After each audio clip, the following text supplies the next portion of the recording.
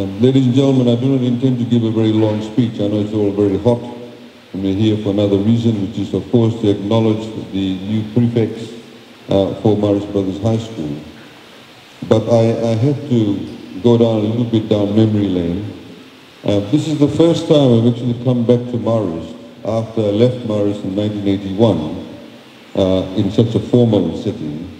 I was here a few years ago and one of the brothers had passed away and sitting in that corner over there and having a few bowls of grog.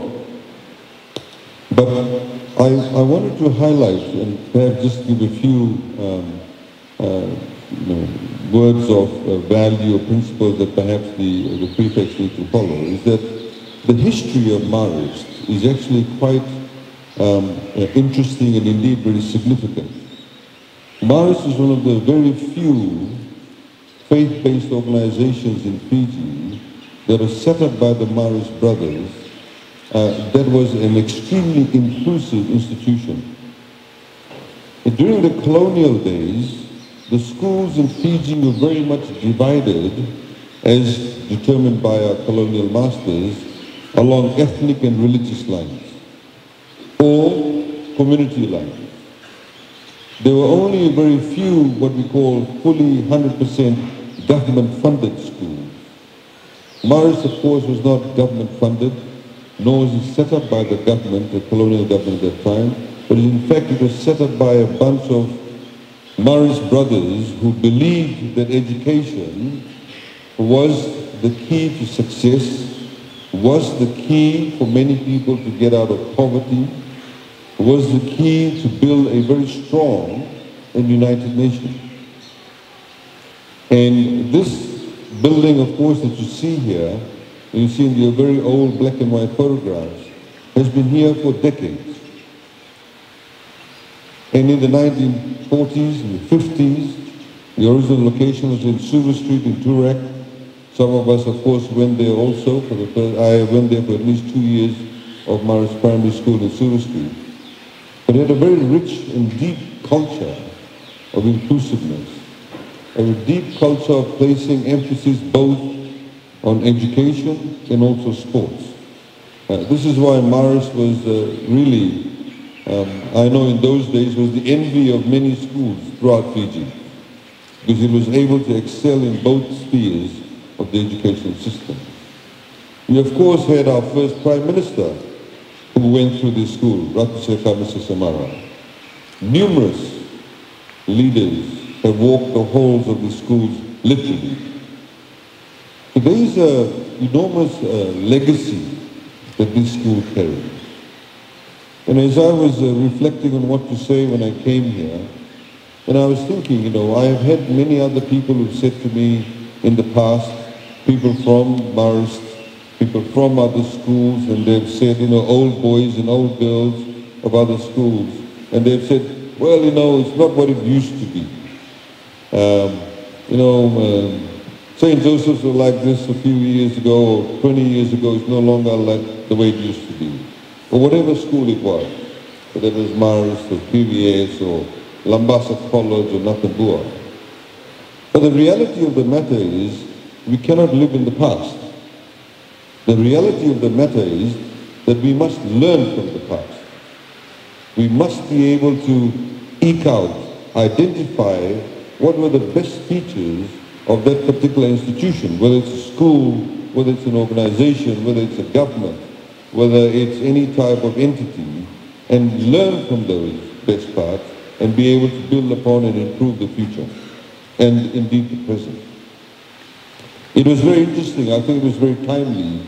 Uh, I was just a few days ago, I was away overseas and I came back and somebody said that one of the politicians had accused us, uh, me in particular, of appointing somebody to a board simply because that person also went to Marist Brothers High School. It's of course quite silly. The point being is that whenever we appoint or select people, they must be appointed and selected on the basis of their ability to contribute, on the ability to have those particular skill sets to be able to make the best person who can deliver the best for their particular organization. Similarly, these young men here, I'm sure have been appointed by the school, have been selected by the school because of their own personal ability, because of their own personal standing, because of the attributes that they do have. So we must never get sidetracked by these types of comments, by these types of insinuations. As I was thinking, I said to the headmaster, if for example one of the prefects here, uh, he starts his job after being inducted, and assuming in the next week, for the first five days, one of them finds that the five people who he thinks are breaching any of the school codes, or are stepping school as they might say, if all of them happen to be all Alphonsus boys, if all of them happen to be all Alphonsus boys, does that prefect suddenly then think, oh, I might get pressure because the guys from Alphonsus say that I'm actually picking on them. He should not feel that pressure just because he may be Claudius or Augustine. Augustine, of course, is the best group, as I would say. Um, but, but my point being, but, but my point being that if that particular prefect knows that he has picked those boys or those students because they have done the wrong thing and he is doing the right thing by picking them out, he should not feel any pressure.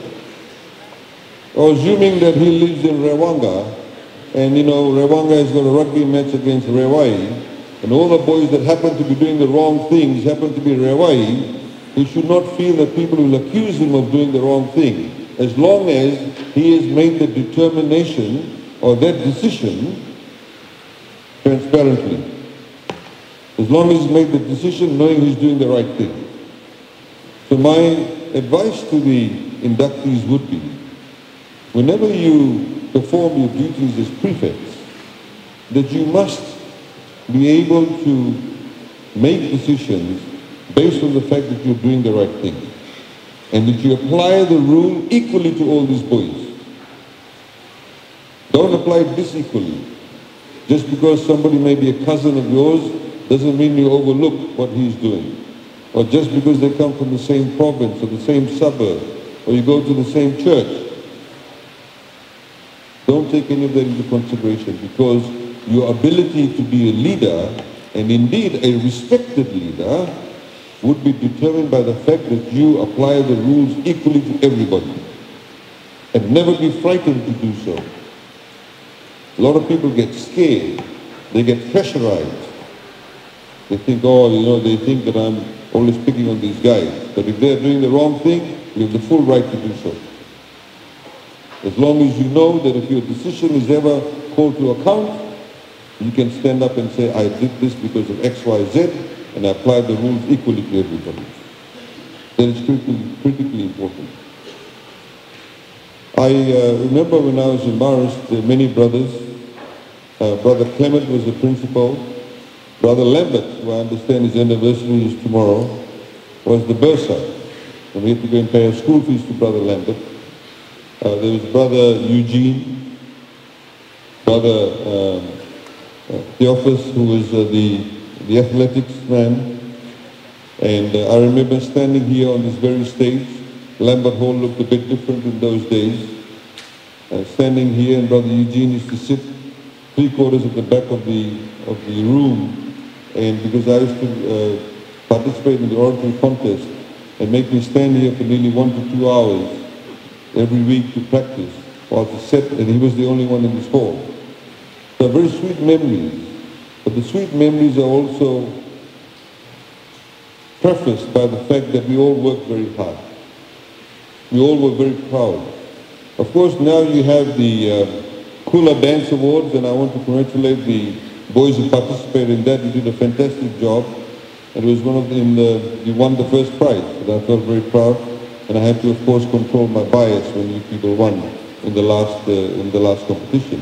In our days, we did not have the Kula Dance Awards we had what they started doing, the choir festival. And we all used to go and sing in the choir festival. and different schools did. There was no competition itself. So ladies and gentlemen, and in particular the, the prefects, the school has enormous depth of legacy. It's the reason, one of the reasons why Marist has this legacy is because it was known to be a school that had principle. The students actually were very, very answerable. When we walked down the street in our uniform, if we walked into the streets of Cumming Street, etc., you actually had shopkeepers calling the brothers up and saying, I can see a few Marist boys lingering around the streets. And they would ask you their names, and they'd ring up and tell the, bar, uh, the principal. That was the level of social interaction and societal impact in Marist. So you do carry that legacy. I would urge all of you, including not just the, the, uh, the, the prefects, but everybody who's here, that please remember that. And that you can actually be able to build upon from the past and be able to build a much better future for yourselves. I, of course, would like to acknowledge the, the, parents who are here. Uh, thank you for your support to your sons and daughters, uh, so your sons and your grandsons, etc., uh, family members. Uh, they need your support. I'd like to, of course, thank the teachers. Uh, you know, in this day and age, you all now have Facebook. You all have mobile phones. we used to write letters. Um, we used to send notes. We did not have Facebook. Of course, the internet presents a number of challenges also. And again, as leaders, you need to be able to have the ability to be a lot more discerning as to what information is correct. To be able to ensure that you do not use this wonderful technology to perhaps bully people on cyberspace, as we see that a lot of that is happening. There's a number of challenges. I'd like to thank the, the head teacher and everybody else that's working together to make a school environment that is conducive for learning and indeed enjoyment. So when, when many of you, of course, very soon will have your own families, you'll have jobs, you'll become leaders in your, in our, in your community, in our country. And the indelible mark that this school can leave on you will only happen if you leave a life, if you leave a legacy, if you leave a student life that is built upon transparency and credibility and your ability to treat everybody equally within your school. I wish you all the best. Thank you. Thank you.